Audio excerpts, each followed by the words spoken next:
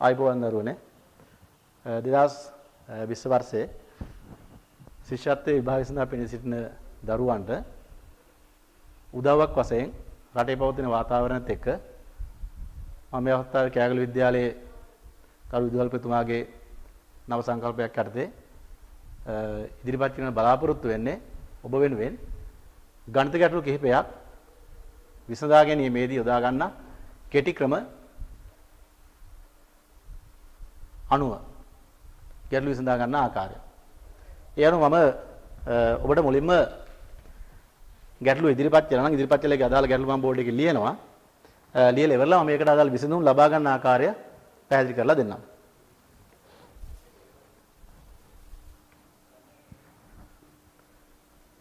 C B A D යන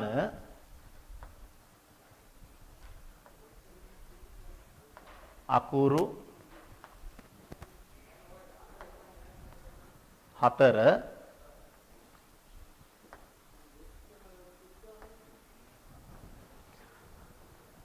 මුහුණ බලන කණ්ණාඩියකින්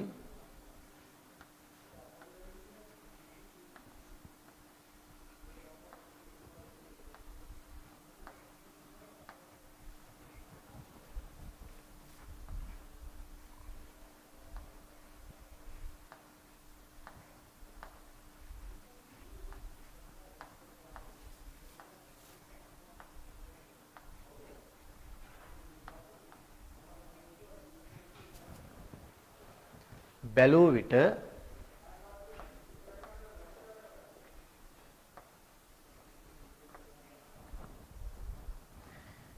ඒ ආකාරයෙන්ම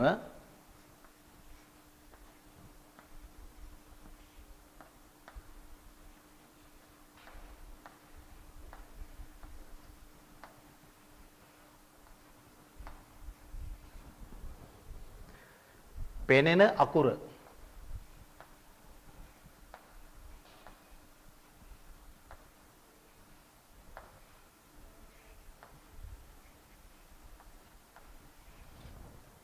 කුමක්ද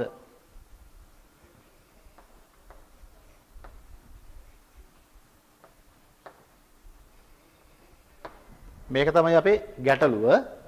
එතකොට මෙතනදී මම ඔයගොල්ලෝ මේ ගැටලුව විසඳීමේදී මුලින්ම මේ ගැටලු ගැටලුවේ උඩින් දැක්වෙන C B A D කියන අකුරු හතර මම ඔයාලට වෙනම යටින් ටිකක් විශාලව ලියලා පෙන්නනවා. C B A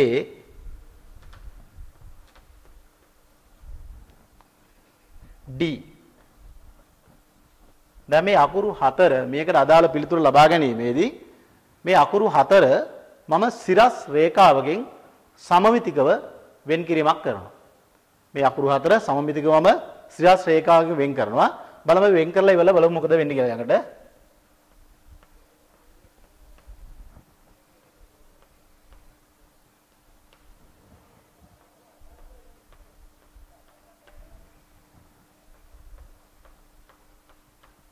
දැන් ඔබට පේනවා ඇති මේ අකුරු හතර සිරස් රේඛාවකින් වෙන් කළාම සමමිතිකව බෙදෙන එකම රූපය වෙලා තියෙන්නේ A කියන අක්ෂරය පමණයි. C කියන රූපය සමමිතිකව දෙකට වෙන් වෙලා නැහැ. B කියන අක්ෂරයත් සමමිතිකව වෙන් වෙලා නැහැ. D කියන රූපයත් සමමිතිකව වෙන් වෙලා නැහැ. ඒ අනුව අපිට පැහැදිලිව ඔබ මේ මූණ බලන කණ්ණාඩියකින් C B A D කියන යන අකුරු හතර මුණ බලන කණ්ණාඩියෙන් බැලුව විට ඒ ආකාරයෙන්ම පෙනෙන අකුර තමයි මෙන්න මේ A කියන අක්ෂරය. මොකද සමමිතිකව බෙදලා තියෙන එකම අක්ෂරය තමයි මේක. ඒ අනුව අපිට මේකේ පිළිතුරු වශයෙන් A කියන අක්ෂරය ගන්න පුළුවන්. මේක තමයි ඕගලන්ට මේ වාගේ අකුරු ටිකක් දීලා මුණ බලන කණ්ණාඩියකින් සොයා ගන්න ආකාරය. එහෙම නැත්නම් අපිට පුළුවන් මේක මම තවත් සරල ක්‍රමයක් පැහැදිලි කරලා දෙන්නම්. මේ අකුරු හතර අපිට පුළුවන් ටිකක් තදට මේ වගේ හාෆ් ෂේප් එක ටිකක් තදට C B A D කියලා ලියන්න පුළුවන්. එයින් පස්සේ ඒ තදර ලියපු අකුරු අතර අනිත් පැත්ත හරලා බලපුවාම අපිට මේ අකුර නොවෙනස්ව ඒ විදිහටම අකුර පේනවා නම් ඒකත් මූණ බලන කණ්ණාඩියකින් ඒ විදිහට පේන අකුර කියලා සලක ගන්න පුළුවන්. ඔන්න ඔය ක්‍රම දෙක තමයි ඕගොල්ලන්ට ඔය ගැටලුවේදී පිළිතුරු ලබා ගන්න ආකාරය කියලා දෙන්නේ. පැහැදිලි ඇති මං හිතන්නේ. නැවතර මම පැහැදිලි කරලා දෙන්නම්. C B A D කියන අකුරු හතර සිරස්ව සාමිතික රේඛාවකින් වෙන් කරනවා. එයින් පස්සේ ඒ සාමිතික රේඛාවෙන් පැහැදිලිවම දෙපැත්ත සමානව බෙදිලා තියෙනවා නම් ඒක තමයි අපි මූණ බලන කණ්ණාඩියකින් ඒ විදිහටම කේන රූපේ විදිහට සලකන්නේ. හොඳයි. අපි ඊළඟට යමු දෙවෙනි ගැටලුවට.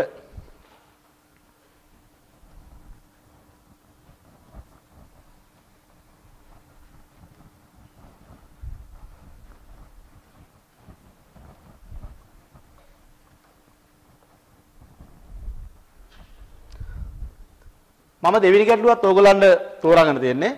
ඔබට නිතරම ආදර්ශ පත්‍රපත්‍රවල ඒ වගේම පාසලේදී උගන්වන විෂය කරුණු වල ගණිතය හා සම්බන්ධ විෂය කරුණු වලදී නිතරම හමු වන ගැටලුවක්. මේකත් ගොඩාක් දරුවන්ට සොයා ගැනීමේ ක්‍රම කිහිපයක් තියෙනවා. මම ඒ සොයා ගැනීමේ ක්‍රම කිහිපයම පැහැදිලි කරලා දෙන්නම්. ඔබට පුළුවන් එතකොට මේ ක්‍රම තුනෙන් ඔබට වඩාත් පහසුවෙන් මතක තබා ගන්න පුළුවන් ක්‍රමය මතක තියාගෙන මේ ගැටලු විසඳීම සඳහා යොදා ගන්න ආකාරය බලා ගන්න පුළුවන්. සත්ව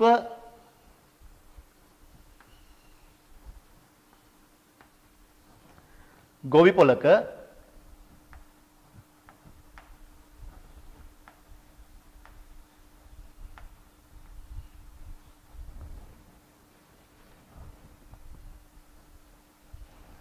ගවයන් හා කුකුලන්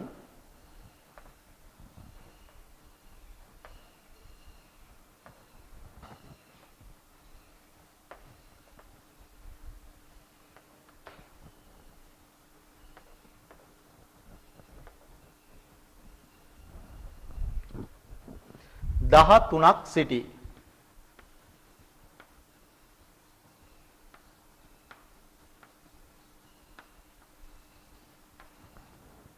ඔවුන්ගේ පාද ගණන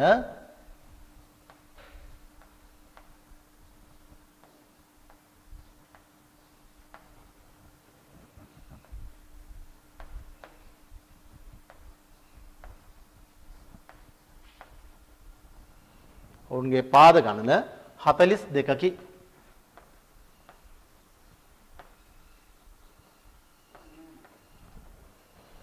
ගොවිපොලේ සිටින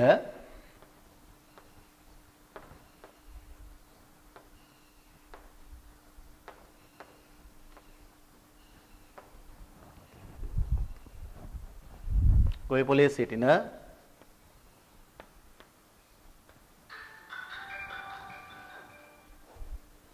ගවයන් හා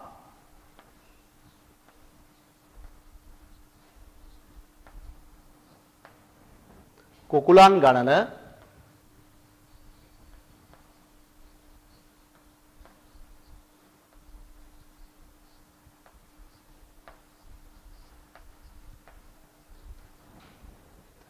වෙන වෙනම සොයන්න.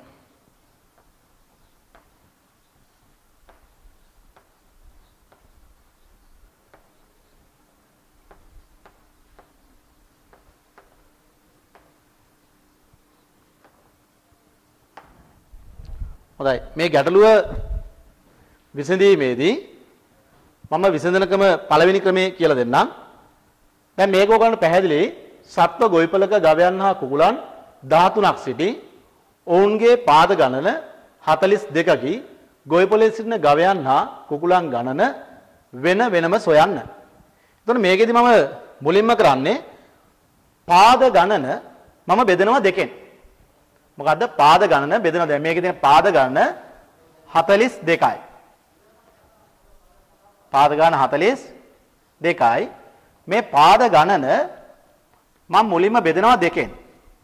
දෙකෙන් බෙදුවාට පස්සේ මට එන්නේ පිළිතුර 21 පිළිතුර එන්නේ 21 එතකොට මෙන්න මේ 21 කියන සංඛ්‍යාවෙන් මෙතන මුළු සත්තු ගණන 13ක් මෙන්න මේ සත්තු ගණන මම අඩු කරනවා. 21න් අඩු කරනවා 13ක්. එතකොට මට පිළිතුර ලැබෙන්නේ 11 3ක් 8යි මෙතන බිඳුවයි. එතකොට පිළිතුර මට ලැබෙනවා 8යි කියලා පිළිතුර. එතකොට මෙන්න මෙතනදී මට පිළිතුර වශයෙන් ලැබලා තියෙන 8 පාද 4 සතුන් ගණන. මෙතන මට පිළිතුර වශයෙන් ලැබෙන්නේ මේ පාද 4 පාද 4 සතුන් ගාන තමයි මට මේ පිළිතුර 8 වශයෙන් ලැබිලා තියෙන්නේ. එතකොට දැන් මම දන්නවා මට ඉන්න මුළු සතුන් ගාන 13යි 13න් 8ක් එනම් පාද 4 සතු කියලා කියන ගවයන් ගණන. එහෙනම් මට ද කුකුලන් ගාන එක හොයාගෙන හරි පහසුයි. මුළු සතුන් ගාන 13යි 13න් මම අඩු කරනවා 8ක්. එතකොට මට 13න් 8 ලැබෙන පිළිතුර 5යි කියලා. එතකොට මෙන්න මෙතන 5 ලැබෙන්නේ මට මේ ලැබෙන්නේ කුකුලන් ගණන.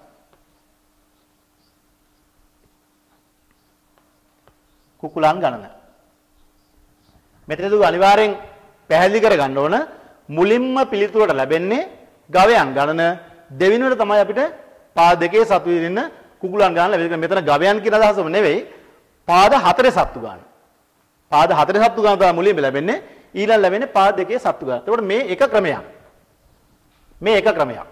එතකොට මම ඊළඟට ඕගලන්ට ඊළඟට කියලා දෙන දෙවෙනි ක්‍රමය දෙවෙනි ක්‍රමයේදී මට මුලින්ම උත්තරය ලැබෙන්නේ පාද දෙකේ සත්තු ගන්න. එතන පළවෙනි ක්‍රමේදී මට මුලින්ම ලැබෙන්නේ පාද හතරේ සත්තු ගන්න ඊළඟට පාද දෙකේ සත්තු ගන්න. එතන මගේ දෙවෙනි ක්‍රමයේ දෙන්නේ පාද දෙකේ සත්තු ගන්න මුලින් හතරේ සත්තු ගන්න ඊළඟට එන්නේ. මම ඒකත් ඕගොල්ලන්ට කියලා දෙන්නම්.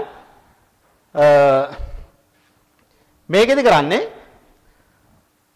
සතුන් ගණන ಗುಣ කරන්න ඕන හතරෙන්. දැන් මෙතන සත්තු ගණනක් ඉන්නවා 13යි කියලා. මේ 13 මම මුලින්ම ಗುಣ කරනවා 4ෙන්. එතකොට 13 4ෙන් ಗುಣ කරාම මට ලැබෙන පිළිතුර 52. මුලින්ම මට ලැබෙන පිළිතුර 52. එතකොට මේ 52කින් මෙතන පාද 42ක් තියෙන නිසා මට මේ 4ෙන් ಗುಣ කරලා පිළිතුරෙන් මම මේ 42 අඩු කරනවා. 42 අඩු කරනවා. අඩු කරාම පස්සේ මට පිළිතුර එන්නේ 0.5 පහෙන් හතරක් එකයි. 10 කියලා පිළිතුරක් එනවා.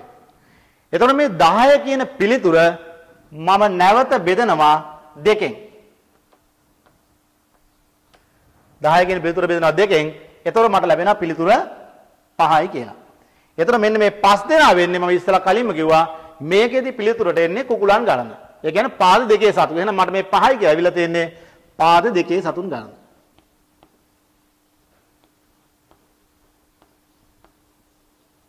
මේ පාද දෙකේ සතුන් ගන්න. දැන් ඒ වගේම අපිට දැන් පාද හතරේ සතු ගන්න හොයාගන්න මුළු සතු ගන්න 13ක් ඉන්නවා.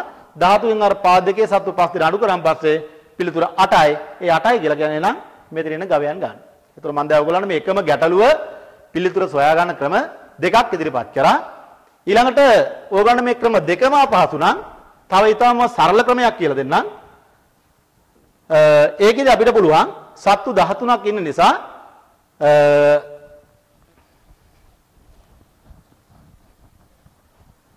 මම මේ සත්තු 13 දෙනා වෙනුවට මෙතන අදිනවා මෙහෙම බෝල 13ක් 2යි 3යි 4යි 5යි 6යි 7යි 8යි 9යි 10යි 11යි 12යි 13යි 1යි 2යි 3යි 4යි 5යි 6යි 7යි 8යි 9යි 10යි 11යි 12යි 13යි එතකොට සමහරවිට මම මේ දක්වලා දෙන්නේ සත්තු 13 දෙනා වෙනුවට තමයි මම මේ බෝල 13ක් ඇඳලා තියෙන්නේ. එතකොට දැන් මට මේ සත්තු 13ගේ පාද 42ක් තියෙනවානේ. ඒ 42ක් තියෙන නිසා මම කලින්ම මේ සත්තුන්ට පාද දෙක ගානේ දීගෙන යනවා. මේ හැමෝටම පාද මම දෙක ගානේ දීගෙන යනවා.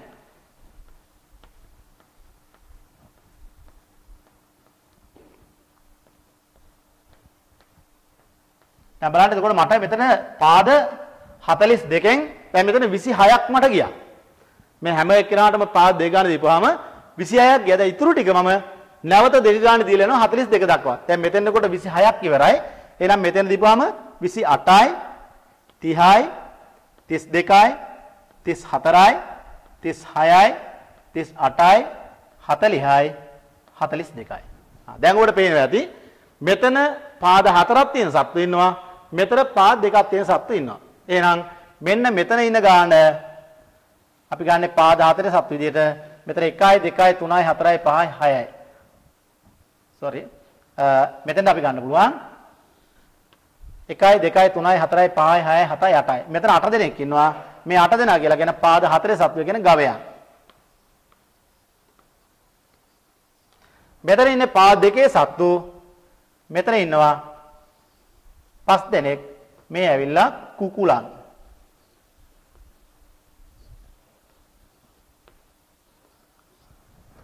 හොඳයි. දැන් ඔයගොල්ලන්ට පැහැදිලිව පේනවා එතකොට අර අපිට කලින් ආපු උත්තරේම කුකුලන් ගන්න පාද දෙකේ සතු 5යි පාද හතරේ සතු 8යි. එතකොට එකම ගැටලුව අපිට විවිධ ක්‍රමවලට විසඳලා පිළිතුරු ලබා ගන්න පුළුවන්. එතකොට ඔබට පුළුවන් දැන් මම මේ ගැටලු විසඳන ක්‍රම තුනක් කියලා දුන්නා.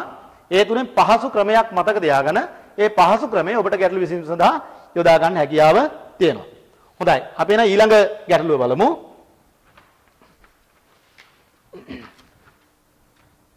මේ ගැටලුව මම ඔබට දෙන්නේ කිසියම් වර්ෂයක සියවස සහ දශකයේ සෙවීම පිළිබඳව. මොකද මේ ගැටලුවත් ඕගොල්ලන්ට නිතරම හමු වෙන ගැටලුවක්. ඊටාම පහසුවෙන් විසඳ ගන්න පුළුවන්. ඒත් එක්කම ඊටාම පහසුවෙන් ලකුණු රැස් කර ගන්න පුළුවන් ගැටලුවක් නිසා මම මේ ගැටලුවත් බෝඩ් එකේ ලියලාම පැහැදිලි කරලා දෙන්නම්. 2020 වර්ෂයේ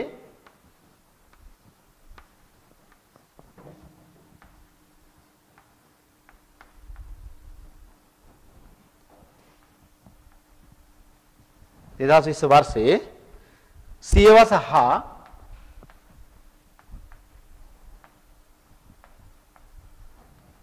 සියවස හා දසකය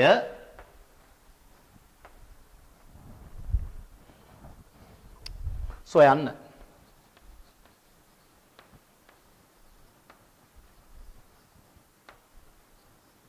දෙදස් විස්ස වර්ෂයේ සියවස හා දශකය සොයන්න. එතකොට මෙතනදී මුලින්ම මම කරන්න මේ වර්ෂය නැවත පැහැදිලිව මේ මේ යටින් ලියා ගන්න. 2020 කියන වර්ෂය ඊළඟට 2020 කියන වර්ෂය මම මෙතන සමානව දෙපැත්තකට වෙන් කර ගන්නවා. එතකොට ඔබට පේනවා ඇති මුලින් මෙතන 20 තියෙනවා. ඒ 20ට මම එකතු කරනවා එකක්. එතකොට 20ට එකක් එකතු කරාම 21යි. එතකොට මේ තමයි සියවස. 20ට එකක් ඇතුළාම 21 එනවා. ඒ තමයි සියවස.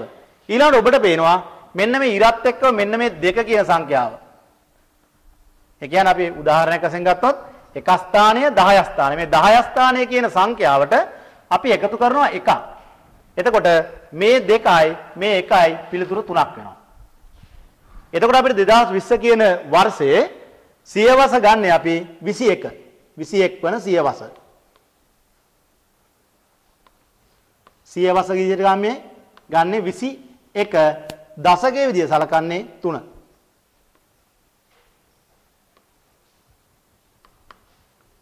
ඒ කියන්නේ 21 වෙනි සියවසේ 3 වෙනි දශකයට තමයි අයිතිලා තියෙන 2020 කියන වර්ෂය. හොඳයි මම ඒකම තවත් එක ගාණක් ඒක විදිහට පැහැදිලි කර දෙන්නම්. අපි ගමු 1993 කියන සංඛ්‍යාව ගමු. එතකොට අපි කරන්නේ මුලින්ම මේ සංඛ්‍යාව මේ දෙක බෙදාගත්තා. මෙතෙන් එකක් එකතු කරා. එතකොට පිළිතුර 20යි. මෙතන තියෙන 9 9ට නැවත අපි එකක් එකතු කළා. එතකොට පිළිතුර 10යි. දැන් උඩ පැහැදිලිද ඉස්සරලා වගේ වෙනනම් මේක 21 වෙනි සියවසේ 3 වෙනි දශකයේ නම් මේක වෙන්නේ 20 වෙනි සියවසේ 10 වෙනි දශකයේ. එතකොට එකම ගැටලුවම දෙකක් කියලා දුන්නා. ඔබට තවත් පැහැදිලි ඇති සියවස දශකයේ හොයාගන්න ආකාරය ඉතාම සරලයි. ඒ නිසා ඔබට පුළුවන් ඕනම වර්ෂයක මේ විදිහට සියවස සහ දශකය සොයා ගන්න.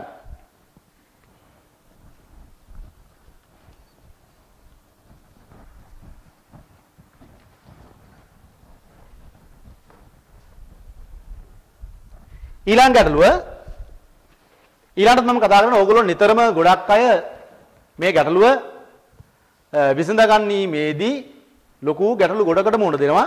මොකද ඒක හරියට මේ ගැටලුව निराකරණය කරගෙන නැති නිසා. ඒ තමයි ඔයගොල්ලෝ නිතරම අහුවෙනවා සිට දක්වා. ඒත් එකම සිට තේ. ඒත් එකම අතර. දැන් මේක මම ගැටලු තුනකට කියලා දෙන්නේ. එකම ගැටලුව ක්‍රම තුනකට මම කියලා දෙනවා. පළවෙනි එක තමයි 11 සිට 20 දක්වා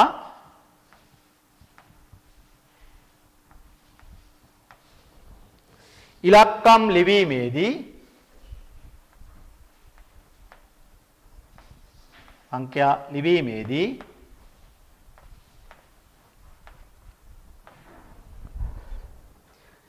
එක ලියවෙන වාර ගන්න කීයද? එක ලියවෙන වාර ගණන කීයද?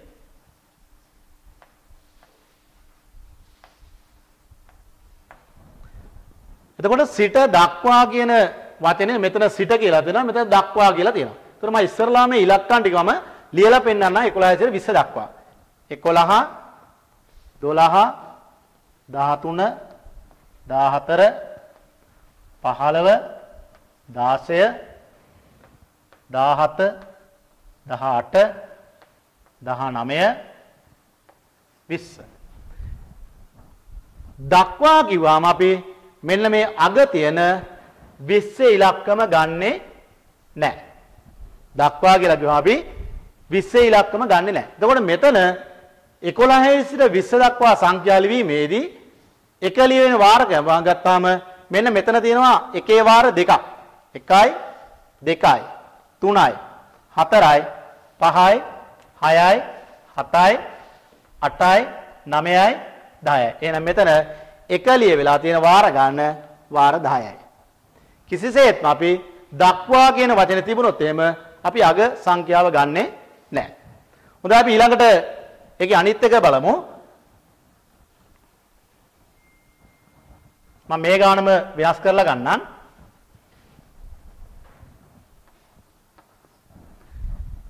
එකේ සිට 20 තෙක් එකේ සිට 20 තෙක් සංඛ්‍යා ලිවීමේදී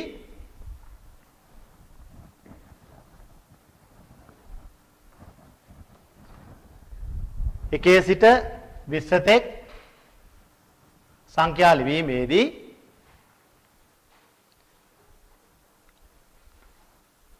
ලියවෙන සංඛ්‍යා ගණන ගණන කීයද?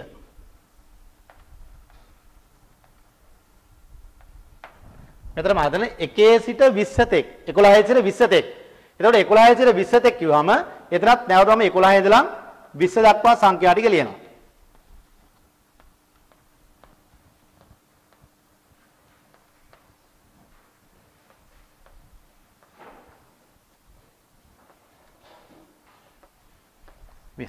දැන් මෙතන 11 සිට 20 තෙක් කිව්වහම මේ මුල් තියෙන 11ත් ගන්නවා මේ අග තියෙන 20ත් ගන්නවා. එතකොට 11 සිට 20 තෙක් කියවම මෙතන ලියවෙන මුළු සංඛ්‍යා ගන්න 1යි 2යි 3යි 4යි 5යි 6යි 7යි 8යි 9යි 10. එතකොට මෙතන සංඛ්‍යා අපි 10ම ගන්නවා. මම ඉස්සරලා ගානේ කතා කරේ එක ලියවෙන වාර ගන්න. නමුත් මෙතනදී මම කතා කරන්නේ 11 සිට 20 තෙක් සංඛ්‍යා ලිවීමේදී ලියවෙන සංඛ්‍යා ගන්න මුළු සංඛ්‍යා ගන්න තමයි මෙතනදී අහන්නේ. එතකොට මුළු සංඛ්‍යා ගන්න මෙතන 10ක් එනවා. මේකෙදි මේ තෙක් කියන වචනේ තියෙන නිසා අනිවාර්යෙන් අග සංඛ්‍යාවත් අපි ගන්නවා. මුල සංඛ්‍යාවත් ගන්න.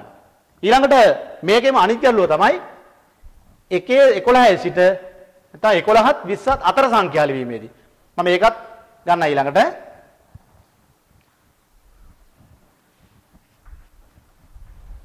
මේ ගැටලුව ගැටලුවම නිසා මම මේක වෙනස් කරලා ගන්නම් 11ත් 20ත් අතර සංඛ්‍යා ලිවීමේදී ලියවෙන සංඛ්‍යා ගන්න කියද. එතකොට මේ අතර කියලා වචනේ තියෙන නිසා මෙතන මේ 11ත් 20ත් අතර කියලා ගත්තාම අපි මේ 11 ගන්නෙත් නෑ. මේ අග තියෙන 20 ගන්නෙත් නෑ. එතකොට මේ සංඛ්‍යා දෙකම අපි අත්තරලා අපි ගන්න මේ මැද තියෙන සංඛ්‍යා ටික පමණයි. එතකොට 11ත් 20ත් අතර තියෙන සංඛ්‍යා ගාන 1යි 2යි 3යි 4යි 5යි 6යි 7යි 8යි. එහෙනම් මෙතන පිළිතුර එන්නේ 8. මෙතන පිළිතුර එන්නේ 8. එතකොට මතක තියාගන්න මෙතන මම එකම ගැටලුවේ ගැටලු තුනක් කියලා දුන්නා. සිට දක්වා කිව්වහම අග තියෙන සංඛ්‍යාව ගන්නෙ නැහැ. මුලින් තියෙන සංඛ්‍යාව ගන්නවා. ඊළඟට සිට තෙක් කිව්වම මුල සංඛ්‍යාවක් ගන්නවා අග සංඛ්‍යාවක් ගන්නවා. ඊළඟට 20ත් මේ 11ත් 20ත් අතර කිව්වොත් එහෙම අග සංඛ්‍යාව ගන්නෙත් නැහැ මුල සංඛ්‍යාව ගන්නෙත් නැහැ මැද තියෙන සංඛ්‍යා ටික පමණයි ගන්න. ඔන්න ඔය වෙනස අඳුරා ගන්න. ඒ අනුව ඔබට පුළුවන් වෙයි මේවා ගැටලුවක් ඉතාම සරලව විසඳ ගන්න.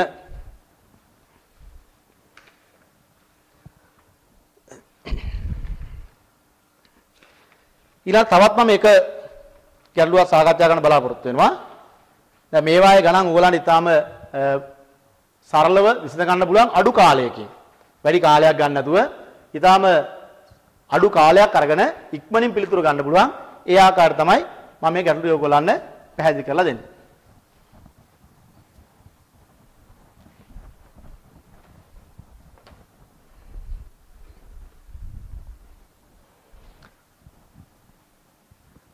සායම් 10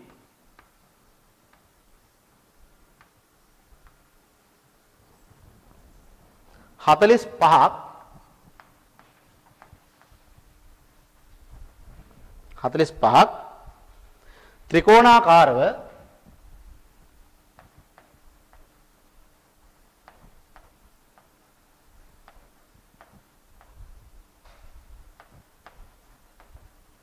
ත්‍රිකෝණාකාරව ගොඩ ගසා ඇත.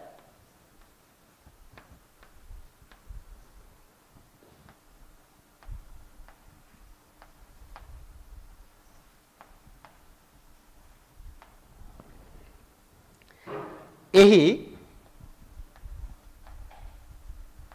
යටම පේලියේ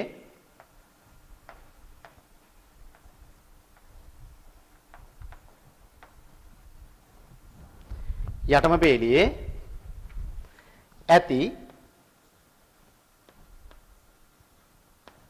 සායම් ටින් ගණන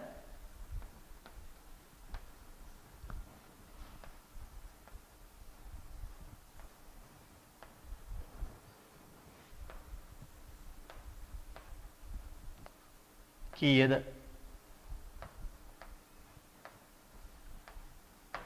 මේක තමයි අපේ ගැටලුව සායම් ටින් 45ක් ත්‍රිකෝණාකාරව ගොඩගසා ඇත. එහි යටම පේලියේ ඇති සායම් ටින් ගන්න කීයද? එතකොට මේ ගැටලුවට පිළිතුරු ලියීමේදී ඔබ දන්නවා ත්‍රිකෝණාකාරව කියලා කියන්නේ මෙන්න මේ ක්‍රමයට දවකොළ දැක ඇති වෙලන් සැල් වල සැමන්ටින් එහෙම මේ ත්‍රිකෝණාකාරව ගොඩ ගහලා තියෙනවා. එතන මේ ගොඩ ගොඩ ගහලා තියෙන ත්‍රිකෝණාකාර මේ සැමන්ටින් ගොඩේ සායම් ටින් ගොඩේ මුළු සැමන්ටින් ගන්න 45ක් තියෙනවා. එතකොට මේ 45 මුළු ගාන නම් අපෙන් අහන්නේ මේකේ යටම තියෙන පේලියේ ටින් ගණන. එතන මේකලත් ක්‍රම කිහිපයක් තියෙනවා. මම මේක පොඩක් පැහැදිලි කරලා දෙන්නම් ක්‍රම කිහිපෙම ඔයගලන්ට පාසු ක්‍රමයක් ඔබට මත් තියා ගන්න පුළුවන්. පළවෙනි ක්‍රමය තමයි අපි එකේ ඉඳලා 1 2 3 4 5 කිය සංඛ්‍යා ටික ලියාගෙන යනවා. මෙහෙම 1 2 3 4 5 6 7 8 9 10 මේ විදිහට අපිට සංඛ්‍යා ලියන්න යනවා. ලියාන ගිහිල්ලා අපෙන් අහන්නේ මෙතන යටම පේලිතේ 17 ගාන නිසා මේ සංඛ්‍යා ටිකම එකතු කරගෙන යනවා. එකතු කරගෙන යනකොට 45 එන තැනින් මම නවත්තනවා. 45 තැනින් නවත්තනවා. 1යි 2යි 3යි 3යි 3යි 6යි 6යි 4යි 10යි 10යි 5යි 15යි 15යි 6යි 21යි 21යි 7යි 28යි 28යි 8යි 36යි 36 9 45 මෙන්න මෙතන මම නැවැත්තුවා. මෙතන තාමට පිළිතුර 45 ආවේ. එතකොට එහෙනම් මෙන්න මේ 45 ආපු තැන තියෙන්නේ මට 9 ඉලක්කම. එහෙනම් මෙන්න මේ 9 ඉලක්කම තමයි අර සායම් ටින් වල යටම පේලේ තියෙන ටින් ගණන 9ක් විදිහට තමයි සලකන්න පුළුවන්. පැහැදිලි ඇති. මේ 45 ලැබෙන තෙක් මේ සංඛ්‍යා ටික අපි ලියාගෙන යනවා. ලියාන ගියාම මෙතනින් තමයි මට 45 ලැබෙන්නේ පිළිතුර. ඒ 45 ලැබුණ තැන තියෙන පිළිතුර 9. ඒ 9 තමයි එතකොට යටම පේලිය තියෙන ටින් ගණන විදිහට සලකන්නේ. ඊළඟට මේක දෙවෙනි ක්‍රමෙත් මම කියලා දෙන්නම්. මේකෙදි වෙන්නේ මුළු ටින් ප්‍රමාණය මේක මගේ පළවෙනි ක්‍රමය. දෙවෙනි ක්‍රමය මුළු ටින් ගණන ಗುಣ කරනවා දෙකෙන්.